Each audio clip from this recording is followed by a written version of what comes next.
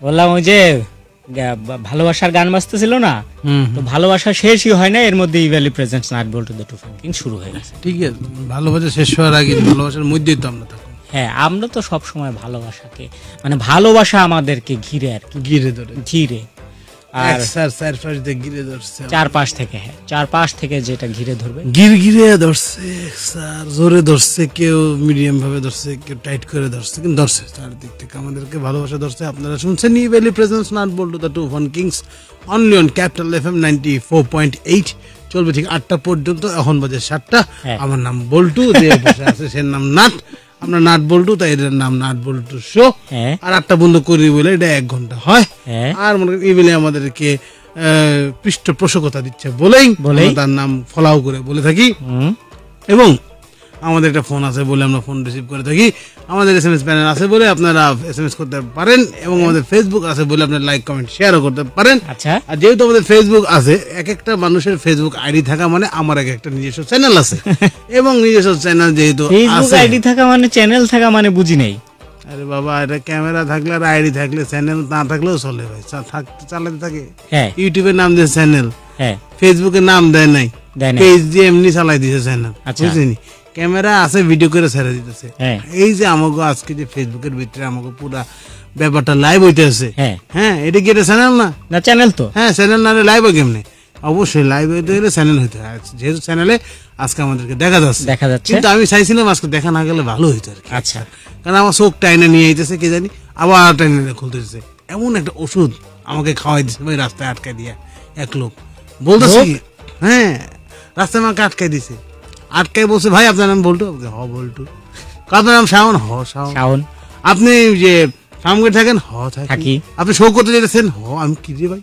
আপনি কি ধর্মেশ্বর? সব জানেন আপনি? সবকিছু সে কি হ্যাঁ করে জানেন। হ্যাঁ আপনি পেট মোটা? হ আমি তো মাথাই নেই। মানে সব বলতে বলতে না এমন এমন আপনার হুন্ডা আছে। পরে আমি বুঝলেই গেছি তুই চোখে দেখতেই আছে আমার পেট মোটা। তো চোখে দেখতেই আমার হুন্ডা। আমাকে যাই বলতে তাই অবাক লাগতেছে। হ্যাঁ। হ্যাঁ আমি হ কয় তাহলে ঠিক আছে তাহলে আপনার জীবনে অনেক সমস্যা আপনি প্রবলেমের মধ্যে দিয়ে যাচ্ছেন। আমি তো হ ভাই আমি তো প্রবলেমের মধ্যে দিয়ে যেতেছি। হ্যাঁ কি সমস্যা?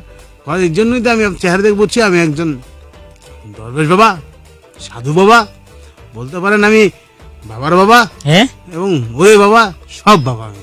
যে- জি ভাই তখন আমার ভিতর থেকে ভয় আইছে। হ্যাঁ। এটা এবার রেসপেক্ট হয়েছে যে লোকটা সব জানে। সব জানতা। সে আবার বলতেছে বাবা সে আমার সমস্যাও জানে। আমার বাপে যে সমস্যা জানে না হে বেটা জেনে গেছে। কয় হ্যাঁ বলে আমার সমস্যা জেনে গেছে কয় আচ্ছা। এই যে পাঁচ ফোঁটা ওষুধ এটা খাইলে আপনার জীবন থেকে সমস্যা চলে যাবে। হ্যাঁ। আমি চিন্তা করলাম যে এত কিছু জানে তার কাছ থেকে পাঁচ ফোঁটা ওষুধ খেলে তো ভালোই হয়। এবং খাওয়া যেতেই পারে। যেতেই পারে। হ্যাঁ, যদি আমার সমস্যাটা চলে যায়। হ্যাঁ। কারণ সমস্যা তো সবাই চায় তার জীবন থেকে সমস্যাটা চলে যাক। চলে যাক। হ্যাঁ কিন্তু সমস্যা তো যেতেই চায় না। বাপের বেরিয়ে যেতে চায় না। ও সরি সমস্যা সমস্যা চলে যাক হ্যাঁ। ঠিক আছে পরে বললাম ঠিক আছে ভাই ফোঁটা তো খাওয়াবেন। পরে চিন্তা করলে তো ব্যাগের থেকে ছোট্ট একটা শিশি বের করল হোমিওপ্যাথিক ওষুধের মতো। সেখান থেকে এক মুখা দিয়ে মুখে ঢেলে দিল। আরে ভাই মুখে দেওয়ার পর মনে করেন যে আসলে আমার সমস্যা চলে গেছে। ওই সমস্যার কথা মনে নেই নতুন সমস্যা শুরু হয়েছে। আমি আগে যে একটা সমস্যার মধ্যে ছিলাম না ভুলে গেছি। কয়, আপনাদের কোনো সমস্যা আছে আমি না সমস্যা নাই তো বুক পিট সব জ্বলতাছে। এইবার হচ্ছে আমাদেরকে একটু বল যে তোকে এই যে এই ওষুধ খাইয়ে তোর কাছ থেকে কি হাতিয়ে নিয়েছে? একশো টাকা। হ্যাঁ? হাতায় নেয় নাই। তাহলে? চাইছে আমি দিয়ে দিচ্ছি কেন? বলছে ভাই ওষুধের দাম একশো টাকা। তাই আমি বলছি ঠিক আছে ভালো করে বল যে আসলে তুই ডাক্তারের কাছে গেছিলি ডাক্তার খাওয়াইছে।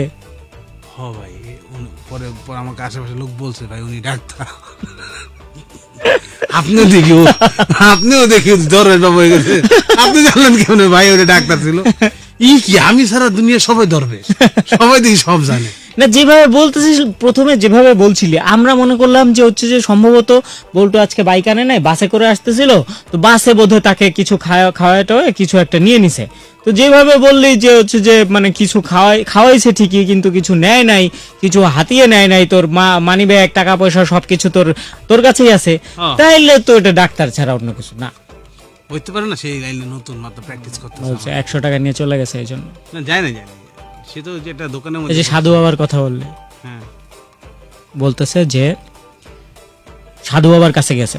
কিরা? সাধু বাবার কাছে গিয়ে সে আবার ডাক্তার না তো? না না হাত দেখাইছে। তো হাত দেখানোর পরে বলতেছে যে সাধু বাবা হাত দেখে বলছে যে তোর তো নারীর রাশি। তুই তো মনে কর যে সারা জীবন তিন চারটা মেয়ে তোকে ঘিরে রাখবে। এবার ওই ছেলে বলতেছে যে সাধু বাবা এটা কি বললেন? তিন চারটা বিয়ে করতে পারব আমি? বলছে না না তিন চারটা বিয়ে না বিয়ে একটাই করবি। তিন চারটা নারী কোথেকে আসবে? একটা তোর বউ আর বাকি তিনটা তোর মেয়ে। অত আশা করে কোনো লাভ আছে? লাভ নাই। সব সময় বি পজিটিভ হ্যাঁ। বলছে যে আমি স্পষ্ট দেখতে পাইতেছি। হ্যাঁ। মানে বাবার কাছে হাত দেখাইতে গেছে। হাত দেখে বাবার হাতের দিকে তাকায় চোখ বড় বড় করে হ্যাঁ। লোকটারে ভয় দেয় হেঁটেছে আর বলতেছে আমি স্পষ্ট দেখতে পাইতেছি। হ্যাঁ। কি দেখতে পাইতেছি? তোর ঘরের ভিতরে বিপদ ঢুকে আছে। হ্যাঁ। সে বিপদ তোর আশেপাশে ঘুর পাক খায় কিন্তু দেখোস না। দেখাস না। তোর জীবনটা তস নস করে দিতেছে তুই ট্যারি পাইতেছিস না। তোর মাথার উপরে কালো ছায়া রে তুই ট্যারি পাইতেছ না। এই শুনে ওই লোক উঠে ঠাটায় দরবেশ বাবার কান পট্টি পাড়ায় একটা মাইরা দিয়া কই দেখেন দরবেশ বাবা হয়েছেন দরবেশ বাবার মতো থাকেন। আমার বউ নিয়ে কোনো কথা বলবেন না। আমি আমার বউয়ের কোনো অপমান আমি সহ্য করতে পারব না দেন চলে যান। তো এক ছেলে দরবেশ বাবা না তার হচ্ছে যে ওই বন্ধুর কাছে গেছে। তো বন্ধুর কাছে যাওয়ার পরে ওই বন্ধু তারে বলতেছে যে দোস্ত তুই এই খবরটা আমার জানাইলি না। কোন খবর? এই যে শুনলাম তোর নাকি তিনটা বয়ফ্রেন্ড তিনটা গার্লফ্রেন্ড বলছে হ বন্ধু আমার তো তিনটা গার্লফ্রেন্ড কয় একটা গার্লফ্রেন্ড যখন আসলো তখন জানতাম। তিনটা গার্লফ্রেন্ড হলো তো জানলাম না আর আমারে বললিও না। বলছে না আসলে জিনিসপত্রের যে দাম একজনের উপর প্রেশার বেশি পড়ে যাইতেছিল। এই জন্য সবার থেকে এই এই ধরনের মেয়েরা কোথায়? কোথায় ছিল যখন আমরা প্রেম করতাম? যারা বয়ফ্রেন্ডে গিফট দেয় হ্যাঁ। হ্যাঁ? যারা বয়ফ্রেন্ডে শার্ট কিনে দেয় প্যান্ট কিনে দেয় মোবাইল কিনে দেয় হুম? করোনার সময় মাস্ক কিনে দেয় স্যানিটাইজার। কিনে দেয় হ্যাঁ এগুলো কিনে দেয়। এগুলো কে কিনে দেয়? বয়ফ্রেন্ড বাসা পাল্টাইলে সোফা কিনে দেয় খাট কিনে দেয় বালিশ কিনে দেয়। হ্যাঁ এটা দেয় এটা দেয়। হ্যাঁ? এরা কোথায় ছিল যে মুহূর্তে? আমরা প্রেম করার লেগে একটা সুন্দরী সুন্দরী সচ্ছল এবং কিউট মেয়ে খুঁজতেছিলাম তখন তোমরা কোথায় ছিল মামনিরা হ্যাঁ? আমাদের ব্যাপারটা কিন্তু ব্যাপারটা কিন্তু উল্টাও হয়। সব সময় যে মানে কোন সময় মেয়েরা বয়ফ্রেন্ডকে হচ্ছে দিছে এটা একটু তার বয়ফ্রেন্ডকে ফোন কিনে দিছে বা হচ্ছে বয়ফ্রেন্ডকে ইয়ে কিনে দিছে এটা একটু রেয়ার রেয়ার রেয়ার ঘটনাটা হয় হচ্ছে কোন দিক থেকে? দেখ। কোন দিক থেকে? যে চার পাঁচ মাস কান্নাকাটি করে। চার পাঁচ মাস কান্নাকাটি করে? বাসার থেকে একটা মোবাইল কিনাইলো মোবাইল কিনেই ছবি ফেসবুকে আপলোড দিয়ে ক্যাপশনে লিখলো O M G surprise gift from বাবা। সারপ্রাইজ দিবে এটা দেওয়ার পর বাপে সারপ্রাইজ হ্যাঁ। যে আমাকে তুই কতগুলো সারপ্রাইজ দেখাই এটা নিছিস? হ্যাঁ। সে যে তুই জানতি। এরকম হয়। তারপর হচ্ছে অনেকে আবার অনেকে আবার হচ্ছে নিজে কিনে কিনে নিজেই কিন্তু হচ্ছে যে ইয়ে দেয়। ও বার্থডেতে আব্বুর গিফট আব্বু গিফট দিচ্ছে এই যে আমাদের লিসেনদের মধ্যে কয়জন আছে না কমপ্লেন করে আব্বু মুখে বলে দাও না আমাকে মোবাইলটা কিনে দিতে। হ্যাঁ। ছয় বছর পর যখন মোবাইলটা কিনে দেবো তখন ওই স্ট্যাটাস দিব। কি দিও ও এম জি আব্বু গিফট করল আব্বু তো গিফট করবে। হ্যাঁ। টিহা দিয়ে কিনে দেখো কত আরাম লাগে। তারপর হচ্ছে ধর ফ্রেন্ডদের মধ্যে একটা একটা ফ্রেন্ডের ভালো মোবাইল কোথাও ঘুরতে গেলে তার মোবাইল দিয়েই হচ্ছে ছবিটা তোলা হবে। এই কথা আর বললি না। এই কথা আর বললিনি না আমি ভুক্তভোগী। এরকম হচ্ছে যে ধর এক ট্যুর শেষে ট্যুর শেষ না ওই ফ্রেন্ডদের হ্যাং আউট শেষে হচ্ছে যে বাসায় চলে আসছে। তো বাসায় আসার সাথে সাথে বেস্ট ফ্রেন্ড সে হচ্ছে মেসেজ দিছে দোস্ত বাসায় পৌঁছাইছস? হ দোস্ত বাসায় পৌঁছাইছি কিন্তু আসলে দোস্ত তুই যে আমার বেস্ট ফ্রেন্ড এমনি এমনি হস নাই দোস্ত। এই যে তুই আমার এত খোঁজ খবর নেস এ আমার কথা এত ভাবস এই যে বাসায় পৌঁছাইছি কিনা সাথে সাথে ফোন করে খোঁজ খবর নিতে ফোন করে জিজ্ঞেস করলি আসলে তুই বেস্ট ফ্রেন্ড হওয়ার যোগ্য? আরে ভাই রে ভাই তোর কথা ভাইবা আমি কলটা করি নাই রে ভাই। মোবাইলে তোর মোবাইলে সবগুলো ছবি তোলা হয়েছে ছবিগুলো হোয়াটসঅ্যাপে দে। এখন তো ওয়াইফের মধ্যে ঢুকছস দে। দে রে ভাই ছবিগুলো দে। এটা হলো গিয়ে এক ধরনের একটা মানে মেন্টাল প্যারা। হ্যাঁ। মনে করেন আপনার কাছে একটা ভালো মোবাইল আছে এবং আপনার ফ্রেন্ডরা সব আপনার কাছে ছবি তুলছে। হ্যাঁ। তোলার পর থেকে আপনার জীবন থেকে পার্সোনাল টাইম বলে চলে যাবে। হ্যাঁ? আপনার জীবনে পার্সোনাল বলে কিছু নাই। কীভাবে আপনি একটু মনে করেন যে এক নাম্বার করতে যাবেন পিছনে দুইটা বন্ধু বন্ধু দে এবার দে এবার তো আলাদা হয়েছিস হ্যাঁ এবার দে এবার টাইম পাচ্ছিস না দে, পাঠা পাঠা পাঠা হ্যাঁ, হ্যাঁ। একটু সাইড দেবেন এই দে বন্ধু দে ওদিক ফিরবেন এ বন্ধু দে ওই করবেন এ বন্ধু দে এবার মনে করেন আপনি কোনো মতে জিদ কইরা হ্যাঁ দিয়ে দিলেন ছবিগুলো ওগু কিন্তু সব মনে থাকে ডাইনে কাইতে একটা ছবি তুলছিল হ্যাঁ, হ্যাঁ, হ্যাঁ। ছবি তুলছিল বন্ধু ওই ছবিটা কই? ওই ছবিটা? বন্ধু সব ছবি খারায় যে একটা কাইতে ছবিটা তুলছিলাম না ওই ছবিটা কই? ওইটা তো আহে না এবার আপনি দেড় দুই লাখ ছবির মধ্যে ওই ছবিটা খুঁজে বাই করতে হবে যেটা আপনারা দেন নাই। তখন মনে হয় what is the mobile importance মনে হয় যে ক্যামেরাটা খুললে দে দি। দে দে জায়গা মতো। তুই রাখ। মোবাইলটা আমার কাছে থাকল ক্যামেরাটা তোর কাছে রাখ।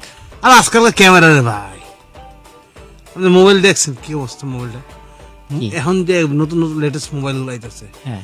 পিছনের ক্যামেরার ক্যাটাগরি দেখলে? হ্যাঁ। ওরে বাবা বোঝা যায় না এটা কি আসলে।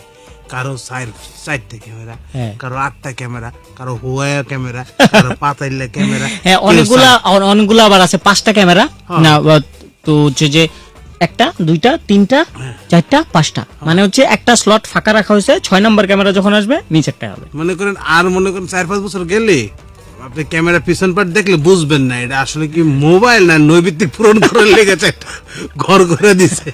হ্যাঁ চাই ঘর করে দিছে। এবং এরাও হইতে পারে মানে বিজ্ঞানীরা মোটামুটি মানুষের মন রিড করতে করতে ওরা অজ্ঞান অবস্থায়। হ্যাঁ। যে আসলে ক্যামেরাটা কোন পজিশনে দিলে মানুষে খুশি হইব? মানে ওরা ওরা দেখে পছন্দ করব কিনবো। হ্যাঁ। লম্বাই দিছে পাতালে দিছে চার কোনা দিছে গোল দিছে তলে দিছে উপরে দিছে সাইডে দিছে মানে এরপরে আমার মনে শেষ এটা যেখানে হবে হ্যাঁ। সেটা আপনি মোবাইল আলাদা কিনবেন। ক্যামেরা আলাদা কিনা আর পাঁচটা ক্যামেরা হাতে দিয়ে ভাই। জেনে লাগাই নিয়ে ভাই। তুই আডা দিয়া জেনে মনটা। ক্যামেরা দিছে ক্যামেরা গুলো আনবক্সিং করলে আলাদা আলাদা ছোট ছোট ক্যামেরা আপনার যেখানে খুশি আপনি লাগাই নিন হ্যাঁ, থাকবে কারণ বুঝতেছেন না হ্যাঁ, আসলে আপনারা একটা একটা ইয়ে ছিল না ওই ক্যামেরা দিলে আমরা আরাম পাইতেছি আর কি না একটা সাইবার শট একটা মোবাইল ছিল না সেটা হচ্ছে সোনি এরিকসনের হ্যাঁ হ্যাঁ ক্যামেরা এরকম ঘোরানো যেত। ঘোরানো যেত ভার্সিটিতে ভার্সিটি লাইফে ওই মোবাইল যার কাছে আছে ওই বন্ধুকে ঘিরে থাকতো আমাদের আড্ডা। হ্যাঁ। কারণ হচ্ছে যেখানেই বসি না কেন ক্যামেরা ঘুরে মনে করছে ওদিকে নিয়ে গেলাম। আমরা তাকায় আছি মোবাইলে ক্যামেরা কিন্তু ওইদিকে। কঠিন কঠিন। মানে বিজ্ঞানীরা প্রায় আমার কাছে ফোন দিছিল গতকালকে। হ্যাঁ। তুমি বলো তো এই যে নতুন ফোনটা বানিয়েছে ক্যামেরাটা কোন দিকে দিলে লোকজন বেঁচে কিনবো? আমি বলেছি চার্জার পোর্টে দেন। কারণ অনেক সময় আমরা চার্জার পোর্টে বুঝি না ময়লা ঢুকছে নাকি চোখ যায় না। তো আমি মনে ক্যামেরা অন করে দেখব মোবাইলে ময়লা ক্যামেরা অন করে দেখলাম মোবাইলের ভিতরে মনে হয়েছে। আরেকটা ক্যামেরা দিতে পারছে মোবাইলের ভিতরে ব্যাটারির পাশে। কারণ মানুষজন ব্যাটারির অতিষ্ঠ। পাশে কেন? অতিষ্ঠ হয়ে যায়। কিছু একটা হইলে ব্যাটারি কোনো সমস্যা হলো না তো? ব্যাটারি ফুলে গেল না তো? ব্যাটারি চিকন হয়ে গেল না তো? ব্যাটারি হলো না তো? ওই- ক্যামেরাটা অন করব ভিতরে ব্যাটারি দেখব। আর এটা ফাইনাল এটা ফাইনাল এটা ফাইনাল এটা ফাইনাল দুই তিনটা ক্যামেরা ভিতরে দিবেন আর আট দশটা হাতে দিয়ে দিবেন ওরা ভাই নিজের মতো নিজের মতো করে লাগাই নিবেনি। আচ্ছা তো আপনাকে একটি ক্যামেরা দিলে দেয়া হলে আপনি সেটি কোথায় লাগাতে চান? হ্যাঁ কোথায় পাঁচটা সেট করতে চান? ক্যামেরা তো পাঁচটা ক্যামেরা আপনি হাতে দিয়ে দিলাম না একটা এক্সট্রা পাঁচটা হচ্ছে এত বড় লিখতে পারবে না। পারবেন না একটা একটা এক্সট্রা ক্যামেরা দেওয়া হবে সেটা হচ্ছে যে আপনি কোথায়। শরীরে অঙ্গ প্রত্যঙ্গ বা হচ্ছে ধরেন মোবাইলে তারপরে দেয়ালে সিসি ক্যামেরার মতো, বা হচ্ছে আপনার ব্যাগে, আপনার বেস্ট ফ্রেন্ডের পিছনে, যেখানে খুশি, কোথায় আপনি ক্যামেরাটা সেট করতে চান। লিখে পাঠাবেন two six nine six nine এই নম্বরে। লিখবেন সিএফএম স্পেস দিয়ে নাম স্পেস লোকেশন স্পেস ক্যামেরাটা আপনি কোথায় সেট করতে চান এবং কেন। লিখে পাঠিয়ে দেবেন টু সিক্স নাইন সিক্স নাইনে কমেন্ট করার জন্য Capital F M ninety four point এইটের পেজে গেলে আপনি আমাদের লাইভ দেখতে পাবেন আজকে। সেখানে কমেন্ট করবেন। আর বল্টুর ঢুলু ঢুলু আঁকি দেখে মনে করবেন না সে ঘুমাচ্ছে, তাকে জোর করে একটি ওষুধ খাইয়ে দেওয়া হয়েছে। যাকে যাকে উনি ডাক্তার বলছেন। পরা দেখি। তো রাঙানো কপালে। লিখে পাঠিয়ে দেন আর ফোন করার জন্য সাতটা চল্লিশ থেকে পঞ্চাশ পর্যন্ত। নাম্বার হচ্ছে zero two double five zero three double six five nine. রেখে যাচ্ছি, শুনছেন। নিশি কোথা ছিলে Evaly presents nut Boltu two fun kings. কালিয়া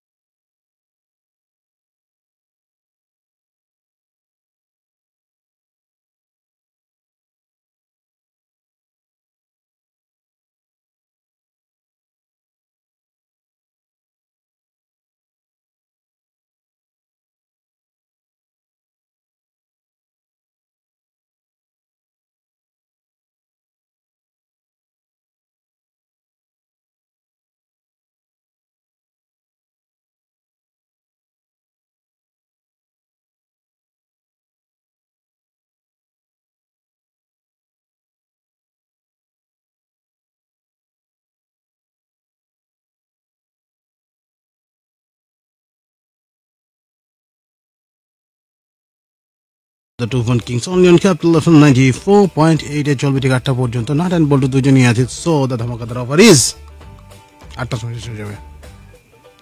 চিত থেকে লিমন হইতেছে। আমার কাছে মনে হচ্ছে ফ্রেশ ঘুম দিয়ে উঠলাম।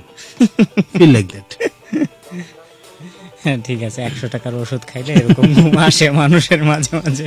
ভালো রাস্তা ঘুমে যায়নি অফিসে না এইতে এক কাজ করিস তাহলে ওই যে ঠিকানাটা আমার দিস। মাঝে মাঝে ঘুমায় না আপনি? হ্যাঁ মাঝে মাঝে কি কখনোই তো আসে না। কি মাঝে মাঝে গিয়ে হচ্ছে ওই যে নিয়ে আসছি কিছু ওটা থেকে নিতে পারেন। নিয়ে আসছিস না? আচ্ছা তাহলে একটা কাজ করে একটু খবর দে আর কি। কি ওই যে ও ও- ওই যে কি জন্য খবর দিব ভালো করে দেখ দেখলেই বুঝতে পারবি তো একটু খবর দে আর কি। ঠিক আছে? আমি দেখছি বাকি বিষয়টা। এস এম এস করেছে কে কে? আমরা, আমি একটু দেখি। তারপরে বলতো না হয় কমেন্টগুলো পড়ে দিক। সারা যাত্রাবাড়ি থেকে লিখেছে, এতদিন এক্সামের কারণে এতদিন এক্সামের কারণে? জয়েন করতে পারিনি, তোমাদের অনেক মিস করলাম, তোমরা কেমন আছো? জি আমরা ভালো আছি। আমরা খুবই ভালো আছি।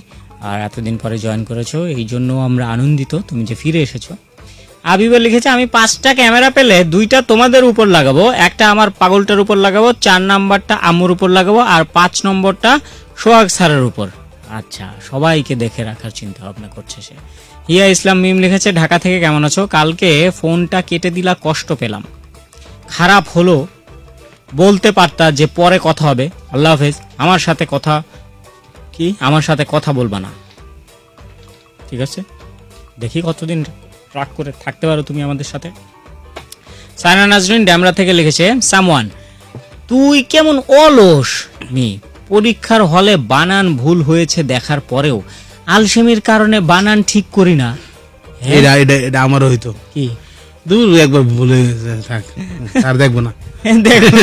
মনে তো তার মানে ইসলাম লিখেছে ফেসবুক ফ্রেন্ড এক হাজার প্লাস রিয়েক্ট তিরিশ প্লাস বাকিগুলো রিক্সা চালায়। বুঝলাম না। বাসায় বাড়িতে কাজ করে রেজিস্ট্রেশনে পিঠা বেচে ভিক্ষা করে তাই রিয়েক্ট দিতে টাইম পায় না এবং ও আচ্ছা ফেসবুক ফ্রেন্ড আছে ওর এক হাজার হ্যাঁ, react React দেয় না আসে তারা। 30 ওরে বাবা। বাকি- বাবা, খেপছে রে, খেপছে। এবার ধর যে যার ফ্রেন্ড লিস্টে পাঁচ হাজার মানুষ আছে সে প্রত্যেক দিন হচ্ছে যে ওই পাঁচ হাজার মানুষকে রিয়াক্ট দিয়ে বেড়াবে খালি সে নিচে বিড়ির দোকান লিখেছে নিজের গার্লফ্রেন্ডকে কখনোই কাঁদাবেন না কারণ তার চোখের জল মুছে দেওয়ার জন্য আপনার মতো অনেক হারামজাদা রেডি আছে রাসেল আহমেদ নারায়ণগঞ্জ থেকে লিখেছে বিকে ভাইয়া আমার শ্বশুর বাড়িতে তোমার দাওয়াত। প্লিজ ফ্রাইডেতে পুরান ঢাকা চলে এসো। রোনা দাওয়াত দিছে তো? পুরান ঢাকায়। হ্যাঁ, পুরনো হয়ে গেছে। পুরান হয়েছে? যাও না না না বল্টু বল্টু পছন্দ হয়নি। কিন্তু বিরিয়ানির ছবি পাঠালে যাব। আগে এই ইয়ে ইনবক্সে রিয়েল পিক পাঠাও। রুনা রেজা লিখেছে পরীক্ষা খাতায় লাস্ট পনেরো মিনিটে হাতের লেখা দেখার পর লে শিক্ষক। এইসব কোন ভাষা লেখছে মা প্রিয়ামণি লিখেছে সামন কাঁচামরিচ ঝাল লাগে তোমাকে আমার ভালো লাগে হ্যাঁ। মি ঝাল লাগলে চিনি খাও আমায় তুমি ভুলে যাও। শারমিন মতলব থেকে কি যেন লিখেছিল বোঝা যাচ্ছে না কিচ্ছু। মেয়ে বলে এই ফোন কিনছি। ছেলে বলে আচ্ছা বলো তো তাহলে দেখা করো কই আসো? ছেলে বলে দেখি তোমার এই ফোন দেখে বাটন ফোন তোমার এই ফোন কই আমি কই? এই একটা এরকম। ইতিহাস প্লিজ বুঝছেন? দুষ্টু মিষ্টি শোক লিখেছে এই নাট অ্যান্ড বল্টু ভাইয়া হ্যাঁ। আমা- আপনাদের কতদিন থেকে মেসেজ করি কিন্তু নাট ভাইয়া আমার মেসেজ পড়ে না। এই জন্য আজকে এত বড় এক বড় ভাইকে ফোন ধার নিয়ে আপনাদের কমেন্ট করলাম। আপনাদের এই শো শুনলে আমার মন ভালো হয়ে যায়। তাই সবশেষে একটা কথাই বলব যে, আমার মন ভালো হওয়ার একমাত্র কারণ নাট বল্টু ভাইয়া। বল্টু ভাইয়া কমেন্ট একটু পড়ে দিন আজকে নিজেকে গর্বিত মনে হচ্ছে। অনেক দিন এসে এসে পাত্তা না পেয়ে ছেলেটা আজকে প্রথম কমেন্ট করছে, পড়ে দিছি। তারপরেও কিছু লোক বলবে বল্টু কমেন্ট করে না। লিখেছে নাদিয়া ওয়াইফ নিউ সিম কিনে হাজবেন্ডকে সারপ্রাইজ দিবে বলে কল দিয়ে বলল হাই ডার্লিং হাজবেন্ড বলল পেতনিটা রান্না ঘরে আছে পরে কল দিতেছি। রতনা হাসান লিখেছে ছোটবেলায় কারণে অকারণে বিদ্যার কসম খাওয়ার কারণে আজ পড়ালেখা আর ক্যামেরাটা আমি ফ্রেন্ডের বাসার ঘরে লাগামু আচ্ছা ঘরে ঘরে। বসার ঘরে লাগামু কেন ফ্রেন্ডের বসার ঘরে কেন? ফ্রেন্ডের বাসার ঘরে লাগাবে। বাসর ঘরে বাসর ও বাসর ঘরে হ্যাঁ।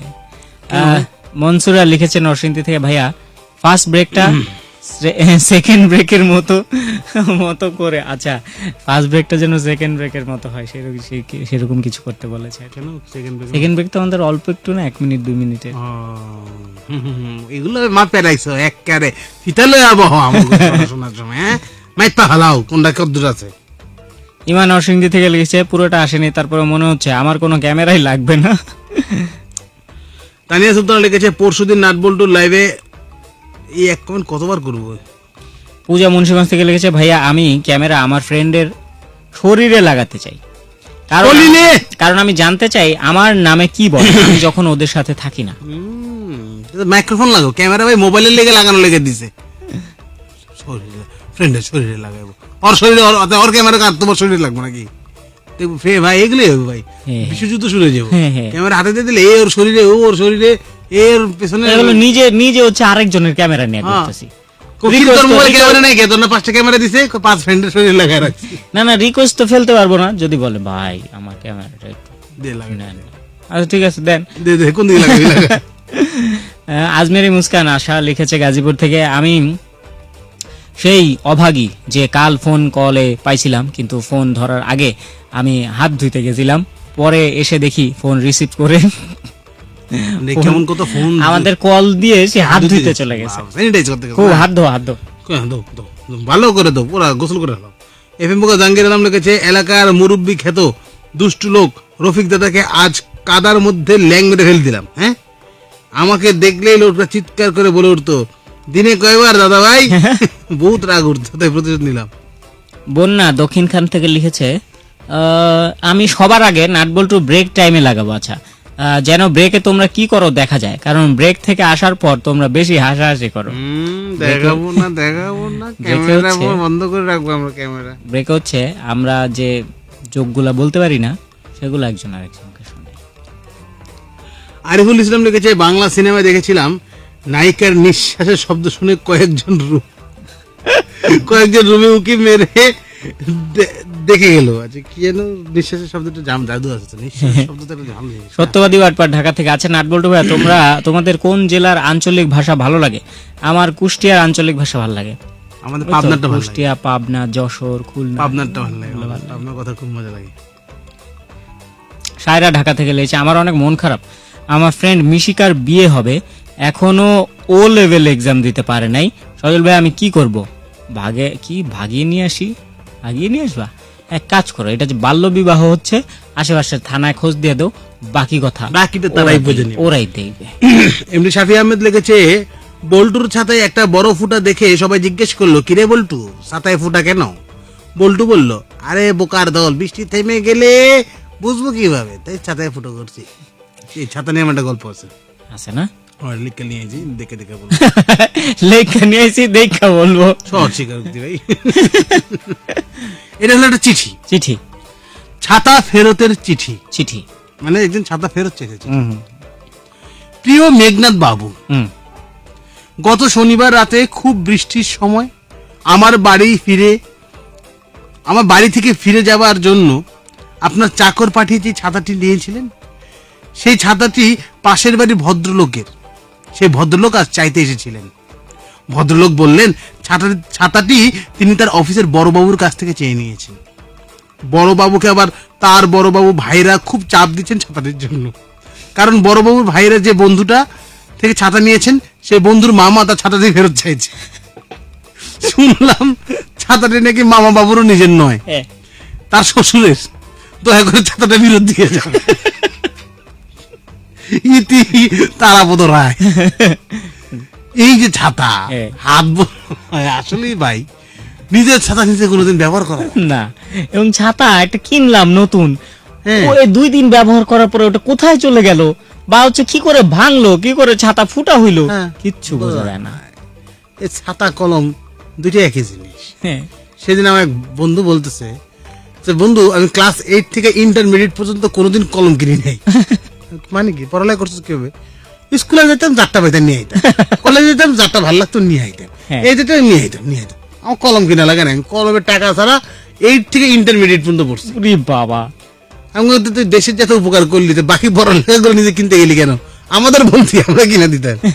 শুধু শুধু একটা কলম কিনে তুই একটা মনে কর যে একটা রেকর্ড ব্রেক করে ফেলা না এটা ঠিক হয় নাই সারা জীবন এক জায়গায় থাক একরকম থাকা উচিত একরকম ছিল। থাকা উচিত। মানুষ বড় যেরকম আমার একবার হয়েছিল বরিশাল একটা ট্যুর দিব আমরা হঠাৎ করে। হ্যাঁ। এক ফ্রেন্ড মানে সে ভার্সিটিতে পরে আমরা পড়ি তখন।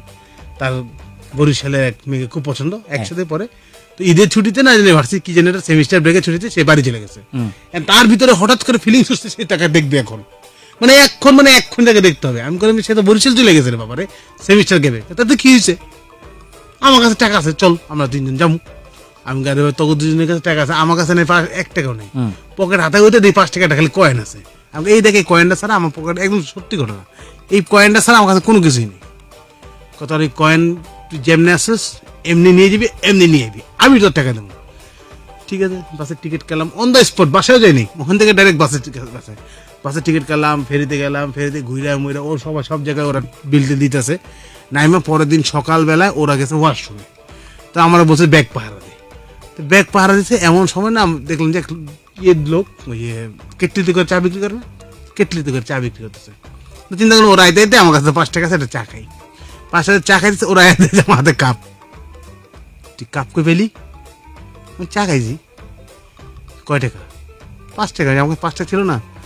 কই কই লোক কই? এদিক গেছে।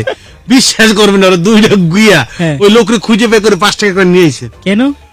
তোর যদি কথা দিছি তুই পাঁচ টাকা কয়েনে ঢাকায় যাবি তুই টাকা কয়েন নিয়ে ঢাকায় যাবি। তোর এটা খরচ করতে আমরা দিম না। মানে যেটা রেকর্ড ব্রেক হয়ে যাবে ব্যাপারটা। হ্যাঁ, সেরকম পাঁচ টাকা নিয়ে ঢাকা যাবে মানে এটা নিয়েই যাবে আমি খরচ করা। হয়ে গেলাম। ওরা কই কোন দিকে গেছে লোকটা? ওরা দুজন দৌড়াই গিয়ে ওই লোককে খুঁজে বাই করে ওদের পকেট থেকে পাঁচ টাকা দিয়ে আমার ওই কয়েন ফেরত নিয়ে নিয়ে আমার পকেটে আমার জায়গা মতো রেখে দিয়েছে এটা নিয়ে তুই ঢাকায় যাবি। এটা নিয়েই তুই ঢাকায় যাবি। সেরকম। আপনি মানে শুধু শুধু ইন্টারমিডিয়েট মতো কলম কিনলেন। আপনি চাইলে পড়ালেখাটা এটা শেষ করতে পারেন। রেকর্ডটা ব্রেক করা ঠিক ব্রেক করো ঠিক আছে। আবার অফিসে গিয়ে হচ্ছে কলিগদের কলম ব্যবহার কলম কলম যে আমি এই আমাদের অফিসে কলম আছে। আমি হ্যাঁ। একটা কলম টিউশন ব্যবহার করি। And বাসায় নিয়ে যাইস না থাক। কল করার জন্য নাম্বার তো আপনি জানেনই তারপরে zero two double five zero three double six five nine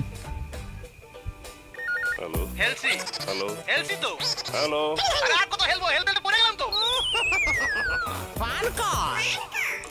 খুব জানতে ইচ্ছে কর ভাই খুব জানতে হেডফোন নিয়ে যান। ভাই আমার খুব জানতে ইচ্ছে করে। ওয়ালাইকুম আসসালাম। কে কথা বলে?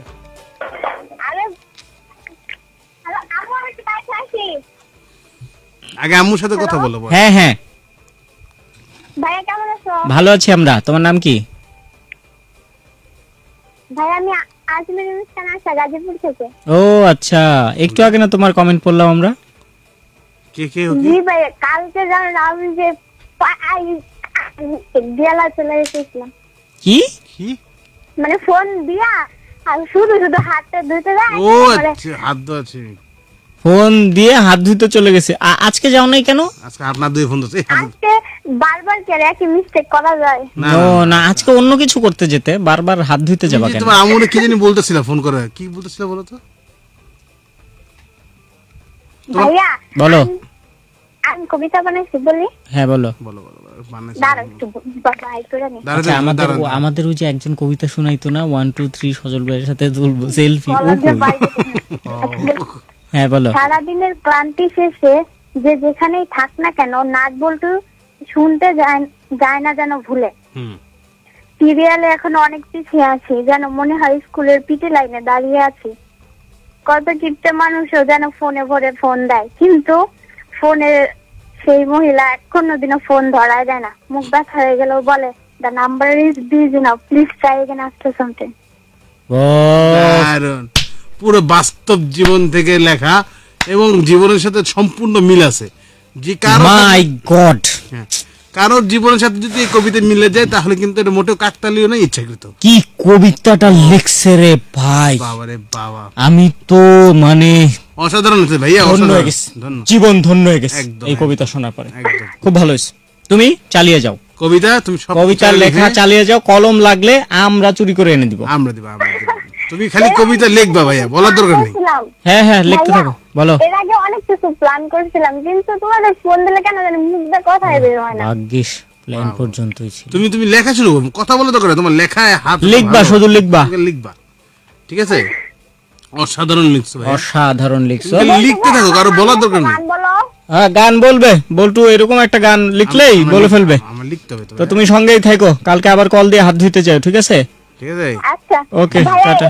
এই মাসটা আমার জন্য অনেক লাকি অনেক lucky। তিনবার ফোনে পাইছি। তিনবার ফোনে বাস কালকে হলে চারবার হয়ে যেত। চারবার হবে। এই এই- মাসে তিনবার পাইছি। দুই তারিখে কালকে আট তারিখে আজকে নয় তারিখে। এই মাস যাওয়ার আগে আবার আরও কল দিতে হবে অনেকবার। প্লিজ প্লিজ এই মাস- বুঝতে পারছি। এই মাসটাকে একদম শেষ করে ঝাঁঝা করে দাও। হুম। ভালো থেকো। কথা হবে আবার। ওকে। আসসালামু আলাইকুম। ওয়ালাইকুম। আসসালাম আপু। কি কবিতা রে ভাই প্রেসার লো হয়ে গেছে। কবিতা তুমি স্বপ্নচারিণী হইয়া হ্যালো হ্যালো আসসালামু আলাইকুম। ওয়ালাইকুম আপনার আসসালাম। প্রতিভা আছে? লেখা পড়া মনে করেন যে আঁকা গাওয়া? গাওয়া নাচা। আপনি আমার কালকে ফোনটা কেটে দিয়েছিলেন। ও কালকে কেটে দিয়েছে এটা আমাদের প্রতিভা আপনার প্রতিভার কথা জিজ্ঞেস করছি। আমি জানি না আমি আজকে কীভাবে পাইছি তোমাদেরকে বিশ্বাস করো আমি আজকে অনেক কষ্টে পাইছি তোমাদের শুধু বিচারটা দেওয়ার জন্য। তোমরা বলতেই তো পারতা যে পরে কথা হবে। ঠিক আছে। ফোন কখন কাটলাম? কালকে কাটছি কাটছি। আজকে কি বলতে বলছে? বলছে পরে কথা হবে বলে কেটে দিতে। আচ্ছা তাহলে কাটার সময় কি বলতে হবে?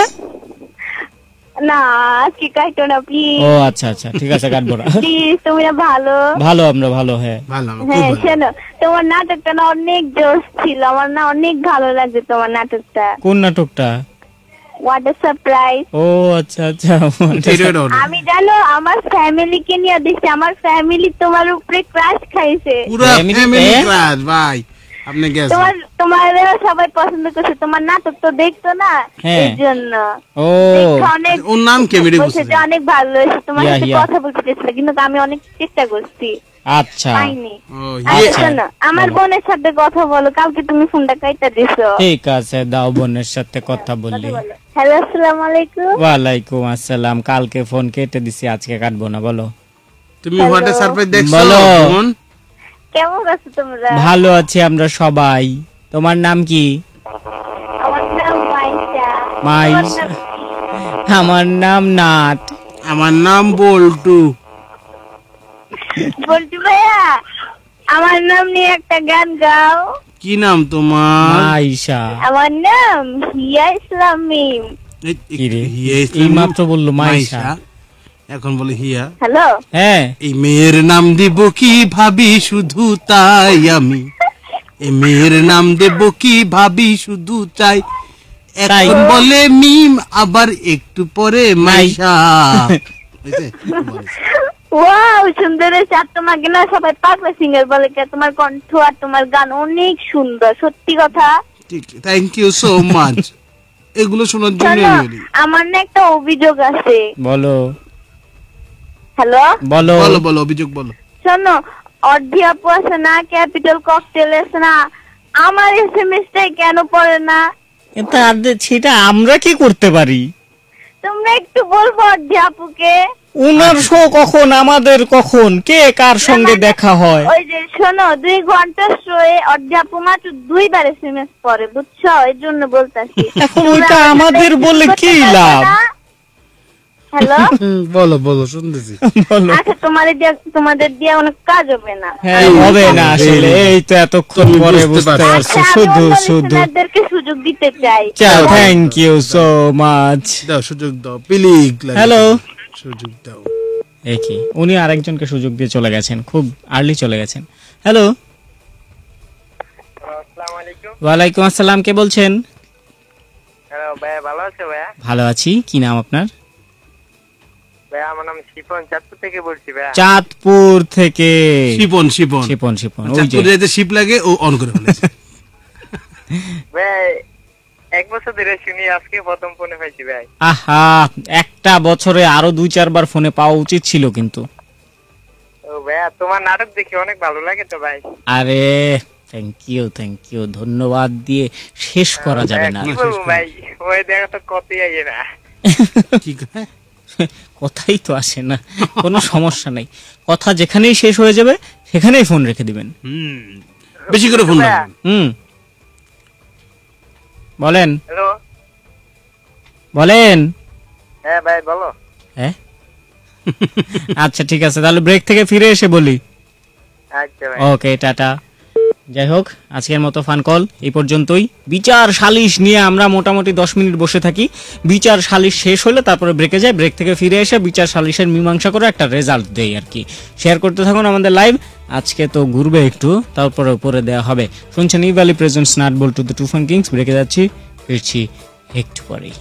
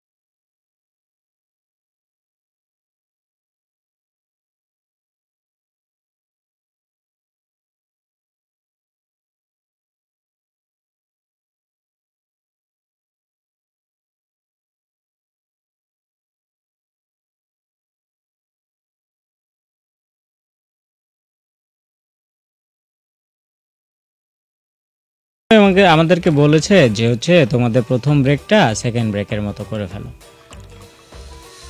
করে ফেললাম। করে ফেলব। আজকে থেকে- খুব রিসেন্ট সেকেন্ড ব্রেকটা প্রথম ব্রেকের মতো করে ফেললাম। তোমার কথা রাখলাম ভাই। দুইটা সমান সমান রাখলাম। সমান সমান করলাম ভাই। যাও। আর কিন্তু মন খারাপ করতে পারবে না বুঝছ? সমান সমান। আচ্ছা যারা সমান সমান শেয়ার করেছিল, তাদের নামগুলো যদি একটু পড়ে দেওয়া যায়, অনেকে তারসেল ভাইয়া বাপ্পি, পুং পুং বাতেন মিয়া শেয়ার করেছিল আমাদেরকে, শাফি আহমেদ। পৃথিবীর কোন কোন দেশে সর্বপ্রথম পড়াশোনা আবিষ্কার হয়েছে?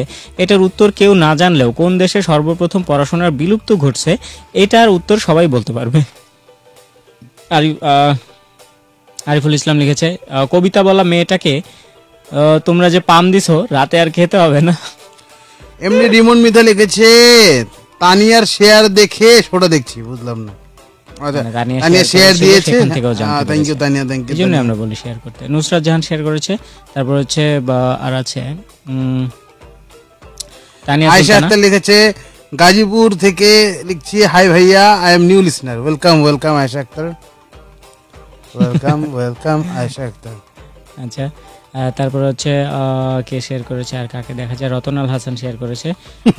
আমি দিলে লেট রিপ্লাই আর তুমি দিলে কাছে ছিলাম না। ডাটা অন ছিল দেখি নাই কাজ করতেছিলাম। প্রিয়ামণি লিখেছে নিজের ভয়েস রেকর্ড করে আজকে শুনলাম। আচ্ছা। যাদের সাথে এতদিন ফোনে কথা বলছি মাফ করে দিস। এইটা সবাই যদি রিয়েলাইজ করতো খুব ভালো হতো ব্যাপারটা হ্যাঁ, অসমাপ্ত ভালোবাসার গল্প শেয়ার করেছিল মেয়েদের মন তুলার থেকে নরম। ফুলের থেকে পবিত্র আকাশের থেকে স্বচ্ছ বাকি মিথ্যা কথা কালকে বলব। একদিন এত বলা ঠিক না একদিন। তুমি এটা অতিরিক্ত ভালো মেয়ে যে লিখছে তুমি অতিরিক্ত ভালো সাবধানে থাকো ভালো মানুষ কিন্তু বেশি দিন বাঁচে না। না। আহ, তারপরে আর কে কে আছে? আচ্ছা যাই হোক আমরা জোকান কেটে চলে যাই।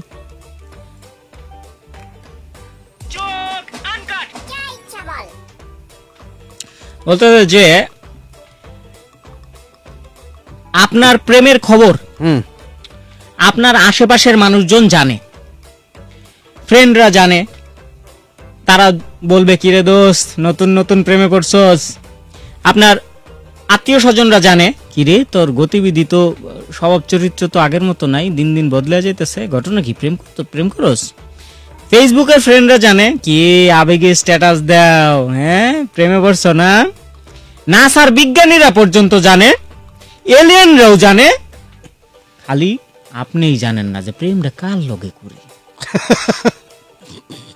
এরকম অনেকে অনেক কিছু জানে না। এক লোক নিশ্চিন্তে ঘরের মধ্যে দুপুর বেলায় ঘুমাচ্ছিল। হ্যাঁ। হঠাৎ করে একটা গুলির শব্দ! হ্যাঁ।